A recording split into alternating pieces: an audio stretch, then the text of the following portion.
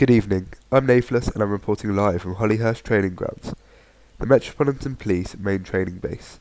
On Saturday, this parade ground will be filled with policemen and women from across the globe, all coming together as one for a joint inspection.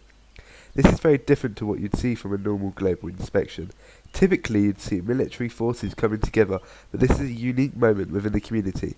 ITV correspondent Hi There spoke to Commonwealth Secretary Sheikh via Zoom earlier today. Find out what he had to say here.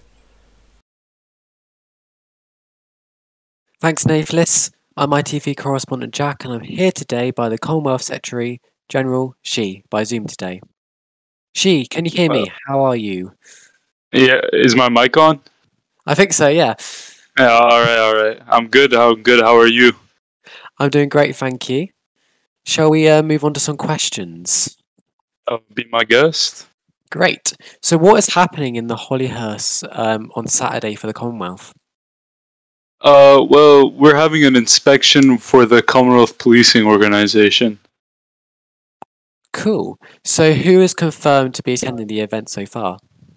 Uh, so far, we have the nations that are confirmed to be attending are Ireland, the Cayman Islands, uh, the Falkland Islands, and we have some countries that are still getting their assets together to be sent to the inspection grounds, such as Belize, Gibraltar, Bangladesh, and Malaysia. And of course, the royal family will be there to inspect as well. Oh, right. What is your opinion on the Compol director running for the Commonwealth Minister as part of the Labour Party?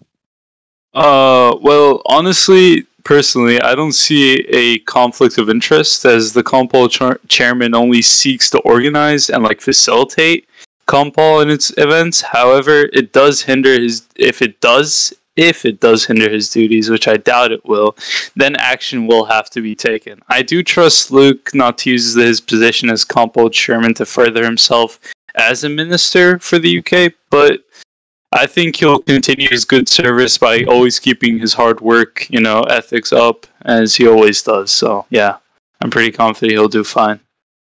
All right, cool. Um, I have another question for you. So, will you be running for the re-election once your term is over? or- No, I actually look forward to the end of my term in April, uh, as it's taken quite a toll on myself and left me questioning many values and principles that I'd rather not endure another three months of. Ah, okay, so I wish I, I I wish you the best of luck until April, and hopefully we might see you around again. Thank you. Um, thank Yes. you, Chi, for being very insightful. We appreciate it. Back to you, Nathless.